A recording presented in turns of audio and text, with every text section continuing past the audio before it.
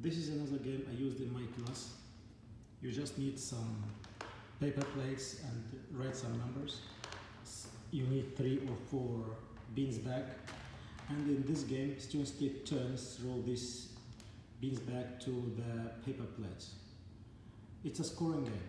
You just break the class into two teams and uh, ask them a question and let the students play it just to break the class into two teams and ask the first student from each team to throw the beans back to the paper plate.